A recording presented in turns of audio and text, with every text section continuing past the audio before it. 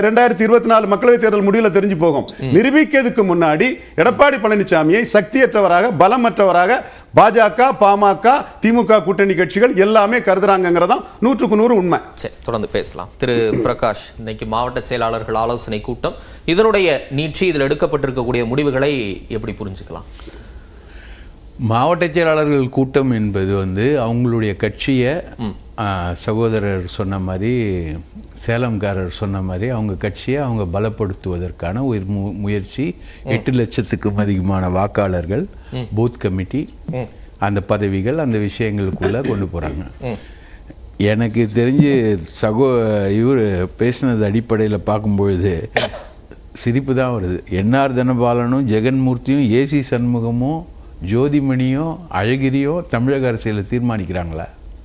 எனக்கு ஃபன்னியாக தான் இருக்குது அந்த மாதிரி நான் ஒரு முப்பது வருஷ பத்திரிக்காரன் என்ஆர் தனபாலன் வந்து ஒரு மாபெரும் வித்தகர் சரத்குமார் ஒரு மாபெரும் வித்தகர் அப்படிலாம் நான் பார்த்ததே கிடையாது. இல்ல யாரையும் குறைச்சு மதிப்பிட வேண்டாமே. அவங்களுக்குன்னு ஒரு ஒரு வலிமை ஒரு சக்தி இருக்கும்ல. இவ்வளவு நாள் கூட பயணிச்சவங்கன்னு குறிப்பிட்டு தானே அவர் சொல்றாரு. அவர் மட்டும் தான் கமிட் பண்ணிருக்காருன்னு சொல்றேன் அவர் பிரகாஷ் புரி- சரியா புரிஞ்சுக்கல.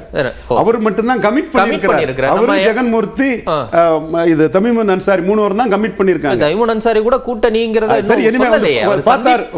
இஸ்லாமிய கைதிகள் விடுதலை குறித்து கோரிக்கை பிரகாஷ் சரியா புரிஞ்சுக்கல சாரி சரி இல்ல எல்லாருக்கும் ஒரு சின்ன சின்ன வலிமை இருக்கும்ல அவங்களுக்கானது. சரி அவங்களோட வலிமையெல்லாம் குறைச்சி மதிப்பிட்டு அவங்கள தரம் தாழ்த்தணும்லாம் நான் நினைக்கல. அந்த மாதிரி இன்டென்ஷன்லாம் கிடையாது. பட் இவங்கெல்லாம் வந்து கோபுரத்தில் காத்தடிக்கும் பொழுது மேலே போய் உட்காரக்கூடிய ஆட்கள் அப்படின்ற மாதிரி எந்த சைடில் அலையன்ஸ் இருக்கோ தமிமுன் அன்சாரியோடைய அரசியலை நம்ம புரிஞ்சுக்கிட்ட வரைக்கும் அவர் ஜெயலலிதாவால் கொண்டு வரப்பட்டு நிற்க வைக்கப்பட்டவர். அவர் வந்து எடப்பாடி பழனிசாமியை பார்த்துருக்கார். ஆனால் இவங்களுடைய முக்கியமான விஷயம் அப்படின்றது என்னன்னா இப்போ பன்னீர் வந்து ஒரு விஷயத்த சொல்றாரு. சேலம் பன்னீர்செல்வம். பன்னீர்செல்வம் பன்னீர் செல்வம். ஓ பன்னீர்செல்வத்தை பற்றி சொல்றாரு. அவர் சொன்னதுல ஒரு முக்கியமான பாயிண்ட் என்னன்னா ரொம்ப வேலிட் பாயிண்ட்டும் கூட. இப்போ பாஜகவுக்கும் அதிமுகவுக்கும் பிரிவினை இருக்கு. ரெண்டு பேரும் பிரிஞ்சு இருக்காங்க ஆனா டிசம்பர் மூணுக்கு அப்புறம் காங்கிரஸ் வரும்னு மணிகண்டன் சொல்றாரு. நான் சொல்றேன் பாஜக வரும். பாஜக கீழே இறங்கி வந்து இவங்க தான் வேணான்றாங்களே சார் அவங்க வந்தா மட்டும் கூட வச்சுப்பாங்களா கேளுங்க. இன்னும் இன்னும் பிரைம் மினிஸ்டர் ஆப்ஷன் ஒன்று இருக்கு. பிரைம் மினிஸ்டர் வந்து அமித்ஷா லெவலில் கூட இது வரைக்கும் பாஜக தலைமை வந்து தலைமையில் இருக்கிறவங்க யாராவது அதிமுகவுக்கு எதிராக பேசியிருக்காங்களா? இல்லை. அதிமுக பாஜக தலைமைக்கு எதிராக பேசியிருக்கா கவர்னர் விஷயத்துல கூட சட்டமன்றத்துல கூட கவர்னருக்கு ஆதரவான நிலையை தான் அவங்க எடுத்திருக்காங்க. ரெண்டு நாளைக்கு முன்னாடி தருமபுரியில இபிஎஸ் பேசுறாரு. நாங்க வந்து பாஜகவோட கூட்டணியில இருந்து வெளியே வந்துட்டோம். திரும்ப திரும்ப ஏன் அந்த கேள்வியை கேக்குறீங்க? நாங்க பாஜகவோட கூட்டணியை முறித்து கொண்டதால் திமுகவினரிடம் அச்சம் தெரிகிறது அப்படின்னு எடப்பாடி பழனிசாமி பேசுறாரு. நல்லா அப்புறம் பேச அப்போ அவர் பேசலாம் சார். கொஞ்ச ஃபர்ஸ்ட் ஓப்பனிங்லயே அவர் பேசல. அதுக்கப்புறம் நடுவுல தான் அவர் பேச ஆரம்பிச்சாரு. ஏதோ ஜெயக்குமார் ஏன் அவர் மேல ஒரு சந்தேக ஜெயக்குமார்? இன்னைக்கு வரைக்கும். இன்னைக்கு வரைக்கும் பாஜகவுடைய கொள்கைகள் சனாதன தர்மம் ஆர்எஸ்எஸ் பாஜக ஐந்து வருட ஆட்சியுடைய பெர்ஃபார்மன்ஸ் அஞ்சு. வருட பத்து வருட ஆட்சியோட பெர்ஃபார்மன்ஸ் இவங்க இருந்து நாலரை வருஷம் தான்? அதுக்கு முன்னாடி. ஜெயலலிதா இல்ல. நாலரை வருஷ பெர்ஃபார்மன்ஸு அதோட விளைவுகள் என்ன அதோட கொள்கைகள் என்ன இந்துத்துவம் என்ன இந்துத்துவத்துக்கு எதிரான நிலை என்ன? அதெல்லாம் இன்னைக்கு வரைக்கும் அவர் வந்து திராவிடம்னா தெரியாதுன்னு சொன்னார். அவருக்குன்னா பாஜக ஆட்சி நாலரை வருஷம் நடந்தது. அதோட விளைவுகள் என்ன? சிஏஏ சட்டம் அதுக்கு எதிர்ப்பு என்ன? முத்தலாக் மசோதா அதுக்கு எதிர்ப்பு என்ன? இப்போ ராமர் கோவில் திறக்க போகிறாங்களே ஜெயலலிதா கூட சாஃப்ட் இந்துத்துவாவில் போனாங்களே ராமர் கோயில் கரசேவைக்கு ஆதரவு தெரிவித்தாங்களே அதில் அவரோட நிலை என்ன? அதுக்கடுத்து வரக்கூடிய பாஜகவுடைய ஒவ்வொரு பிரச்சனைகளும் இருக்குது அதுக்கு இது வரைக்கும் அதுக்கு எதிராக எடப்பாடி பழனிசாமி அவர்கள் வாய் திறக்கவே இல்லை.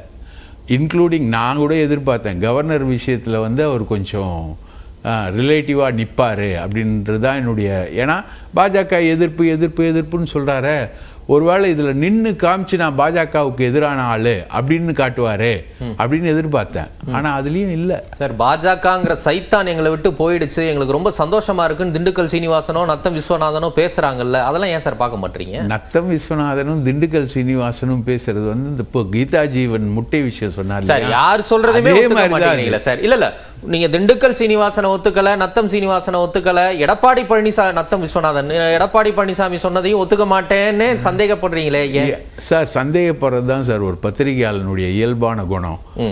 எல்லாத்துலேயும் வெள்ளையா இருக்கணும்னு எல்லாரும் நல்லவன் நம்புறவன் வந்து ஏமாளி எல்லாரும் ஃப்ராடுன்றவன் மிகப்பெரிய ஃப்ராடு.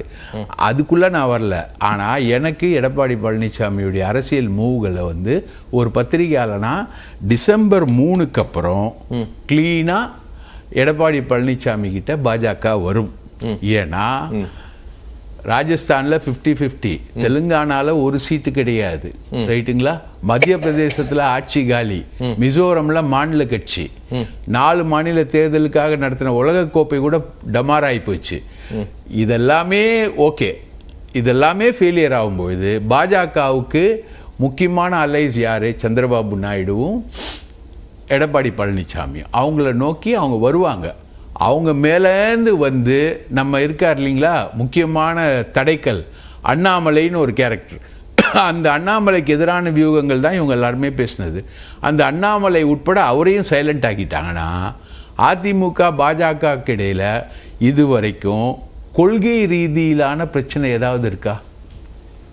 ஒன்று சொல்லுங்கள் கொள்கை ரீதியில் நாங்கள் வந்து பாஜகவோட முடன்படுறோம் கூட்டணியில் இல்லை என்கிற ஒற்றை வார்த்தையை தவிர கொள்கை ரீதியாக நாங்கள் இந்துத்துவத்தை எதிர்க்கிறோம் சனாதனத்தை எதிர்க்கிறோம் சமஸ்கிருதத்தை இன்ஃபோர்ஸ் பண்றதை எதிர்க்கிறோம் அனைத்து ஜாதியினரும் அர்ச்சகராகலாம் அப்படின்றத வந்து மாத்தி சுப்பிரமணிய சாமி போன்றவர்கள் கேஸ் போட்டிருக்கிறதை எதிர்க்கிறோம் அப்படின்னு ஏதாவது ஒண்ணு இருக்கா?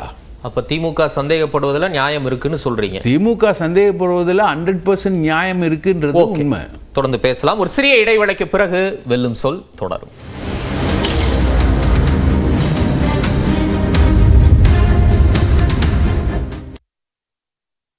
சில இன்றைய செய்தி. இந்த நொடியின் விவாதம்.